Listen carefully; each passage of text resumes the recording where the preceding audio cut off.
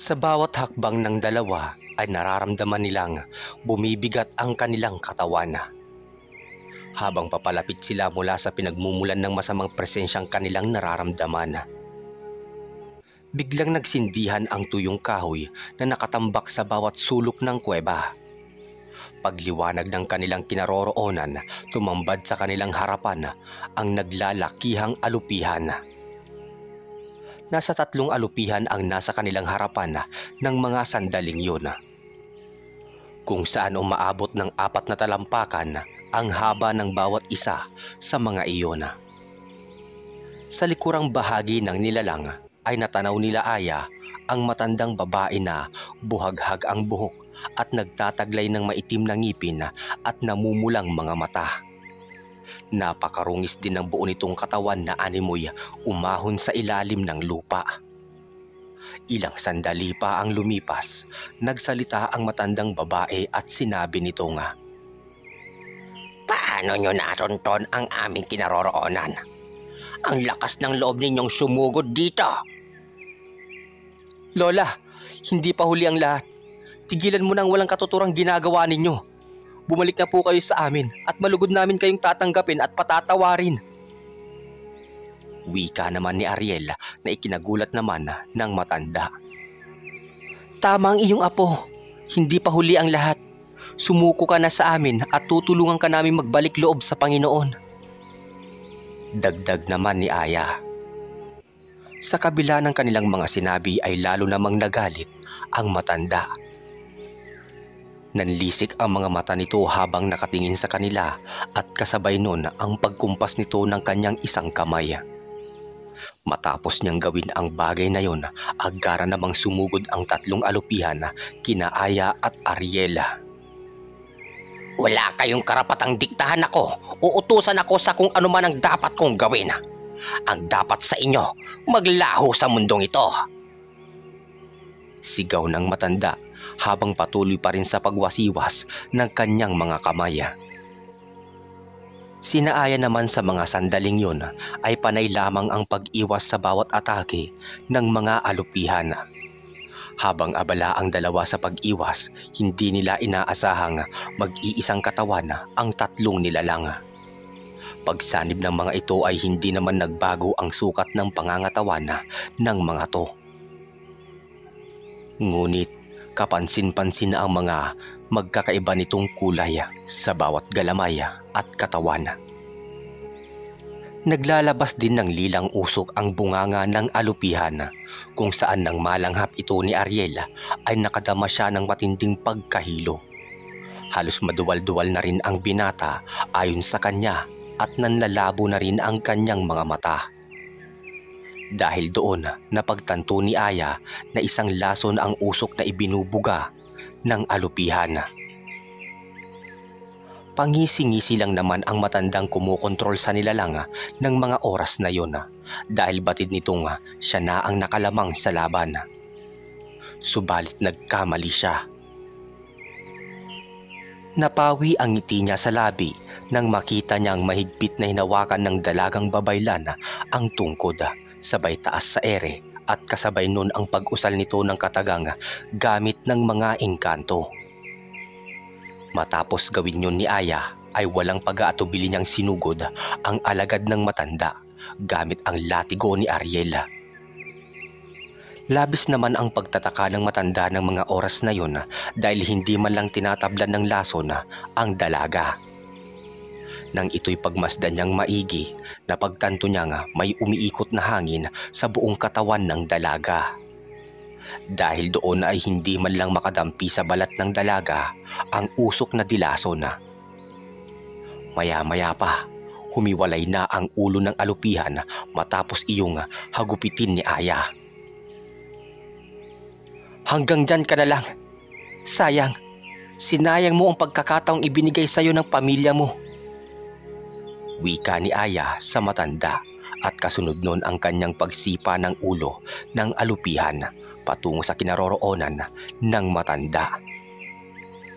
Dahil sa kanyang ginawa, nangalaiti na sa galit ang kanyang kaharap at nagwika ito sa kanya na nga. Kung sa tingin mo ay panalo ka na sa labang ito, nagkakamali ka binibining babaylan. Nakalimutan mo yatang narito ka sa aking teritoryo. Matapos nitong makapagsalita, nagtayuan ang mga buhok nito sa ulo at kasabay nun ang pagbabago nito ng anyo. Habang pinagmamasdan ni Aya ang pagbabago ng anyo ng kanyang kalaban, napukaw naman ang kanyang atensyon ng itim na medalyon na nakatali sa bewang ng nilalang. Sa puntong yun, ramdam niyang doon humuhugot ng lakas ang matanda kung kaya't nagagawa nitong palakasin ang kanyang taglay na kapangyarihan.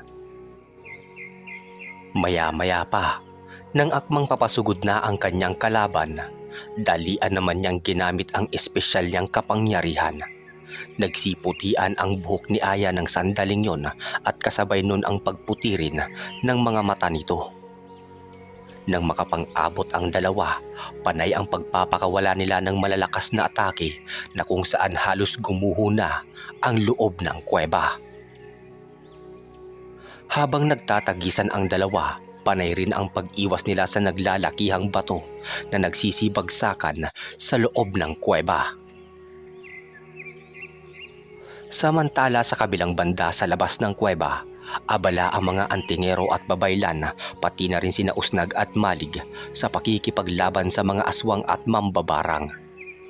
Sa tulong ng lamba ng kanilang kasama, mas napapadali para sa kanila na kitilan ng buhay ang kani-kanilang kalaban.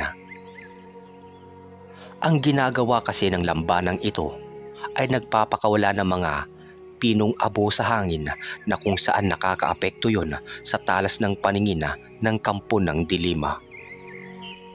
Magaling munting lambana. Napakalaking tulong ng iyong kakayahan. Dahil sa iyo, malapit na natin silang maubos. Wika ni Malig sa lambanang inilabas na rin ang totoo nitong wangis. Si Usnag naman ng mga oras na yon ay lagi lang nakangiti na animoy labis niyang kinatutuwa ang pagpaslang sa mga nilalanga. Ano? Aliwin niyo pa ako. Yan na ba ang kakayahan ninyo? Na nilimos ninyo sa demonyo? Wika ni Usnag sa bawat nilalanga na kanyang hinaharap. Subalit kahit na anong gawing taktika ng mga aswang upang magapi si Usnag ay hindi ito umuubra sa prinsipe ng Dalakit Nuna. Nariyang napapatras na ang iba sa kanila at halos lumayo na sa kinaroroonan ni Usnag. Subalit di nila magawa-gawa dahil nangingibabaw sa kanila ang galit sa pang-iinsulto nito sa kanila. Masyado kang tiwala sa kakayahan mo, ginoong dalakit. Mga kasama, huwag kayong papadala sa pinagsasabi nito. Ituon ninyo ang inyong mga isipan kung paano natin siya mapapabagsak. Wika ng isang aswang na mambabarang. Habang abala si Usnag sa kanyang pakikipaglaban, nararamdaman naman niya ang matinding nagaganap na laban sa loob ng kuweba.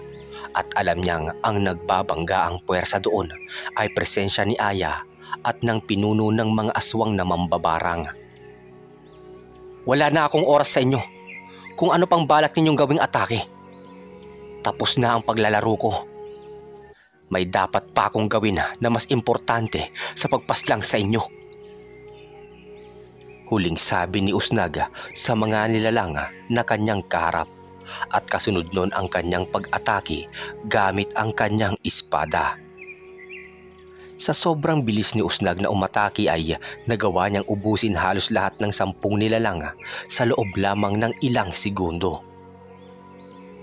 Malig, alalayan mo ang mga mortal dito.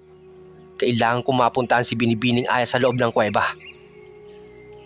Paalam ni Usnag sa kanyang kaibigan at kasunod nun ang kanyang paglaho na parang bula. Sa pagbungad ni Usnag sa bukana ng kuweba ay tumambad sa kanyang harapan ang naglalakihang bato na nakaharang papasok sa loob. Binibining aya, gigibayin ko ang nakaharang na bato. Ramdam ko kanina ang pangihina ng kasama mong si Ariel. Kailangan ligtas siyang maiuwi sa kanyang pamilya. Bigyan mo ko ng sinyales bago ko gawin ang pagsira sa mga batong nakaharang. Sigaw ni Usnag sa bukana ng kuweba. Batid niya kasing baka bawian ng buhay si Ariel kung wala itong malanghap na sariwang hangin. Kahit di pa man nakikita ni Usnag ang nagaganap sa laban sa loob ng kuweba, batid nitong may laso na sumira sa kalamnan ni Ariel. Tulad ng ordinaryong kakayahan ng maharlikang nilalang, nalalaman na agad ni Usnag ang mga positibo at negatibong pangyayari base sa reaksyon ng kanyang katawan sa bawat hangin na dumarampi rito. Maya-maya pa, nang maramdaman ni Usnag na abala ang babaylan sa pakikipaglaban, minabuti na lang niyang alamin ang kinaroroonan ni Ariel upang hindi ito matamaan ng malalaking bato. Nang matukoy niya ang kinaroroonan ng binata, agad naman siyang gumawa ng daan upang ito'y makuha palabas. Pagbungad ni Usnag sa pinangyayarihan ng labanan, tumambad sa kanya ang bangkay ng walang ulong alupihan. Hindi na muna inistorbo ni Usnag si Aya sa pakikipaglaban. Minabuti niya munang mailagay sa ligtas na lugar itong si Ariel na walang malay sa mga oras na yun. Matapos niya yung gawin, agaran naman siyang bumalik sa kinaroroonan ni Aya upang ito'y tulungan. Subalit pagbalik niya rito, ay naabutan niyang nakahandusay nasa lupa ang matandang kaninay nakikipaglaban kay Aya. Malalalim na rin ang paghinga nito, sinyalis na malapit na itong malagutan na ng hininga. Ilang sandali pa, hindi na pinatagal pa ni Aya ang paghihirap ng matanda. Isinaksak nito ang hawak ng tungkod sa dibdib ng nilalang at agaran itong naagnas hanggang maging abo. Usnag, anong kalagay ng mga kasamahan natin sa labas? Tanong ni Aya habang naglalakad palapit sa kinatatayuan ni Usnaga. Wala kang dapat ipag-alala. Kaninang inilabas ko si Ariel, nalupi na nila ang mga kalaban. Sagot naman ni Usnaga.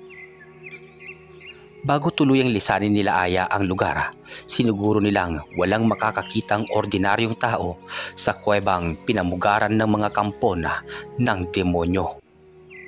Upang lalo silang makatiyak, tinambakan nila ng malalaking bato ang bukana ng kuweba upang sa ganon hindi ito isipin ng mga tao na ito'y isang kuweba. Mahirap na, baka may makakuha doon ng gamit na may sumpa at magdulot pa ng salot sa lugar. Samantala, lahat naman ng mga bangkay ng nilalang na nakahandusay sa lupa ay kanilang inilibing at ang iba naman ay kanilang sinunog. Ang uri ng paglibing nila sa mga katawan ng mga ito ay hiwa-hiwalay ang mga bahagi. Upang sa ganon, hindi na ito muling magkabuhay bilang isang maranhig. Ayon kasi kay Aya, kapag ang katawan ng aswang na inilibing ng buo pa, malaki ang posibilidad na buhayin ito ng masasamang espiritu upang makapaghasik ng lagim. Matapos nilang gawin ang bagay na yun, sabay-sabay na nilang binagtas ang daan pabalik sa munting baryo. Ang ilan sa kanila ay may akay-akay na sugatan. Gayon pa man, laking pasasalamat ng lahat dahil walang nasawi ni isa sa kanila. Si Ariel naman ay nagkamali na sa daan at ito'y akay-akay ni Malig. Makalipas ng ilang oras, nakabalik na sila sa baryo bago pa man sumilay ang araw sa kalupaan. Lahat ng nakatira sa baryo nila Ariela ay nag-aabang at nais malaman ng mga ito kung sila ba ay nagtagumpay sa laban.